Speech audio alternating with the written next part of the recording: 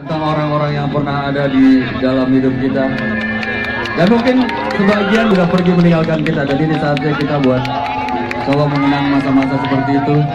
Ya. Ya udah buat kalian selamat jalan